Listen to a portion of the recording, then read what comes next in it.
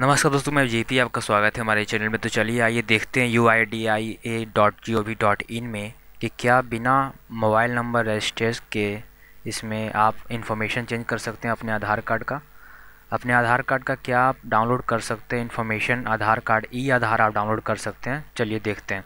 यहाँ पर आपको बहुत सारा इन्फॉर्मेशन मिल जाएगा।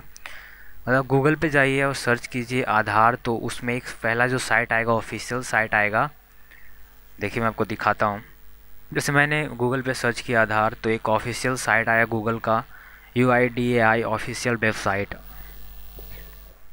इस साइट में आपको बहुत सारा ऑप्शन मिलेगा, बस एक ही ऑप्शन मिलेगा डाउनलोड आधार का। जैसे आप डाउनलोड आधार पे क्लिक कीजिएगा तो एक नया साइट खुलेगा। इस साइट में आपसे ये ऐड आगे सो कैट कट कर देते हैं। इसमें बोल रहा है आधार नंबर लिखिए, या एक आईडी होता है, उसको लिखिए, जो आप आधार कार्ड बनाने समय मिलता है आपको। फुल नाम लिखिए, पिन कोड लिखिए, इमेज जो इसमें लिखा हो यहाँ पर टाइप कीजिए और आपका जो मोबाइल नंबर रजिस्टर्ड है, आधार कार्ड के साथ उस पर एक ओटीपी जाएगा, उसे इंटर कीजिए यहाँ पर और आप डाउनलोड कर लीजिए।